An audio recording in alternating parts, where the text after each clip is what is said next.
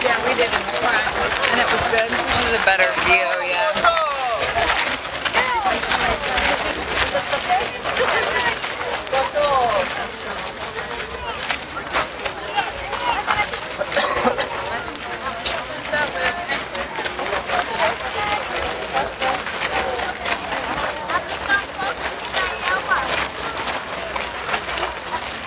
Cyprus.